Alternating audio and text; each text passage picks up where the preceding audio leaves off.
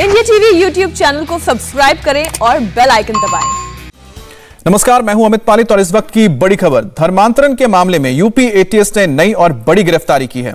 Police ने मौलाना कलीमुद्दीन सिद्दीकी को गिरफ़्तार किया है और मेरठ से मौलाना सिद्दीकी को गिरफ़्तार किया गया।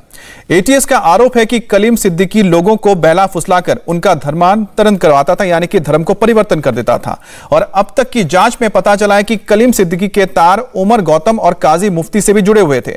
आरोप यह भी है कि कलीम सिद्दीकी हवाला के ज़रिए अवैध धर्मांतरण के लिए फंड भी जुटाता था।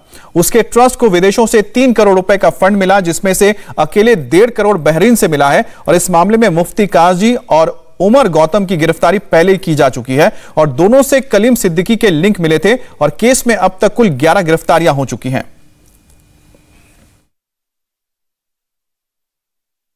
इस संबंध में आज के अभियुक्त को छोड़कर कुल 10 लोग गिरफ़्तार हुए थे, जिसमें से छह व्यक्तियों के विरुद्ध विभिन्न तिथियों में चार्जशीट दाखिल की जा चुकी है तथा चार व्यक्तियों के विरुद्ध अभी भी विवेचना प्रचलित है। इसी विवेचना के दौरान इंटेलिजेंस गैदरिंग के दौरान ये तथ्य प्रकाश में आए कि मौलाना कलीम सिद्दीकी अवैध धर्मांतरण के कार्य में लिप्त है और विभिन्न प्रकार की शैक्षणिक, सामाजिक व धार्मिक संस्थाओं की आड़ में अवैध धर्मांतरण का कार्य देशव्यापी स्तर पर किया जा रहा है। की बात पे बल देता था। जिन संगठनों ने उमर गौतम के संबंधित trust, Al Hasan educational and welfare foundation को फंडिंग की थी, उन्हीं स्रोतों से मौलाना कलीम के ट्रस्ट, जामिया इमाम वजीउल्ला ट्रस्ट को भी अनियमित रूप से भारी मात्रा में फंडिंग की गई है। अभी तक की जाँच के अनुसार मौलाना के ट्रस्ट के खाते में डेढ़ करोड़ रुपया एक मुश्त बहरीन से आया है तथा अब तक की जाँच से कुल तीन करोड़ रुपए के फंडिंग के साक्ष्य प्राप्त हुए हैं। इस खबर पर बात करने के लिए हमारे साथ जुड़ गई हैं रुचि कुमार, लखनऊ से। रुचि, जिस तरह से पुलिस ने गिरफ्तारी जो की है, कलीमुद्दीन की, इसके बाद जो तार निकल के आते हैं कि किन किन से इनके भी तार जुड़े हुए थे और साथ ही साथ जो फंडिंग हो रही थी विदेशों से, इसका इस्तेमाल किसके लिए किया जाता था? देखिए यूपी एटीएस का ये कहना है कि पिछले कुछ दिनों में, कुछ महीनों में 10 लोगों को एटीएस ने गिरफ़्तार किया है, जिनके ऊपर धर्मांतरण कराने का आरोप है। इन 10 लोगों के ज़रिए वो आज आ, कल उन्होंने एक और गिरफ्तारी की है मौलाना कलीम की और एटीएस ऐसा कह रही है कि बहरीन और दूसरे देशों से मौलाना कलीम का जो ट्रस्ट था उससे तीन करोड़ रुपए आए हैं बहरीन से एक साथ डेढ़ करोड़ रुपए आया है। तो ये जो विदेशों से फंडिंग हो रही थी इसके ज़रिए जो मौलाना कलीम है उनके ऊपर ये आरोप है कि वो धर्मांतरण करा रहा था मदरसों का संचालन हो रहा था, जहाँ पढ़ाई के साथ साथ लोगों को ये बताया जाता था कि अगर जन्नत में जाना है तो इस्लाम धर्म ही सबसे अच्छा है। और जहन्नुम का डर उनको दिखाया जाता था और धन परिवर्तन करने के लिए प्रेरित किया जाता था। ऐसा एटीएस का दावा है।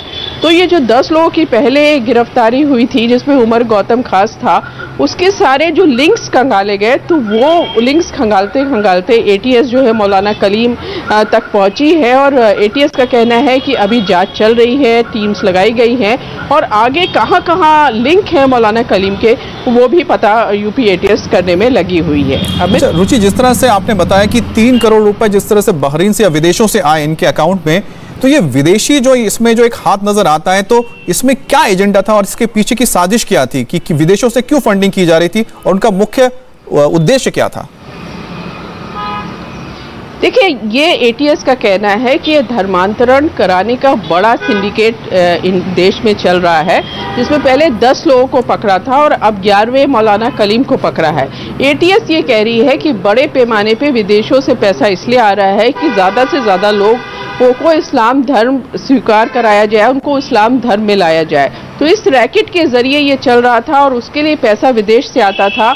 बहुत सारे लिंक्स हैं एटीएस का कहना है, जिसमें यूट्यूब पे लिंक्स हैं, जिसमें मौलाना कलीम बता रहा है कि किस तरह से इस्लाम धर्म अच्छा है, किस तरह से शरीयत ही सही कानून है जो सबको न्याय दिला सकता है। साथ में ये जो अपना साहित्य बनाते था मौलाना कलीम या जो यूट्यूब लिंक्स होते थे साहित्य जो लिखता था वो फ्री में दिया जाता था कि लोग उसे पढ़े और इस्लाम धर्म की तरफ़ उनका झुकाव हो और फिर वो इस्लाम धर्म अपना ले।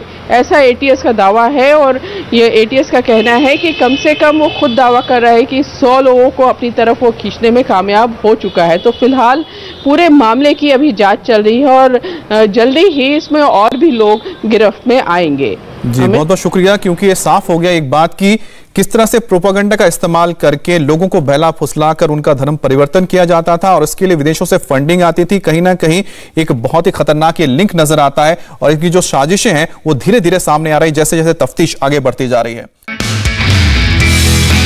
नमस्ते, मैं हूँ मीनाक्षी जोशी। वीडियो और खबरों से अपडेट रहने के लिए India TV YouTube channel subscribe करें। बेल आइकन दबाना ना भूलें। जुड़े रहें इंडिया टीवी के साथ।